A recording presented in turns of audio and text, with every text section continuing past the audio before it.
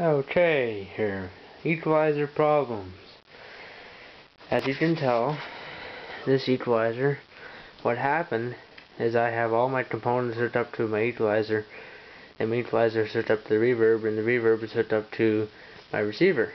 Well, my equalizer, these buttons down at the bottom here, I don't know if you can see them, but my buttons, the solder has gone, or there's dust in it, so I didn't really bother taking it all apart I'll do that another time.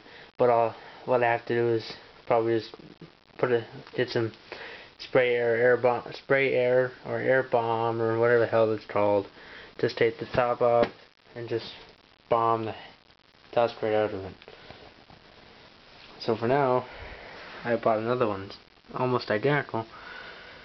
As you can tell, I have my CD player, my 64 and my DVD player hooked into this and then this is hooked into the reverb and reverb is hooked up to the receiver. Mind these equalizers are 20 years old and it's a really uncommon thing to get a hold of now. So if you got them, you should fix them because it makes your sound a whole lot better until the solder goes and sounds like crackly and shitty and pieces of crap. Alright, YouTubers, you have suggestions for dust and things like that to make these things work better, let me know.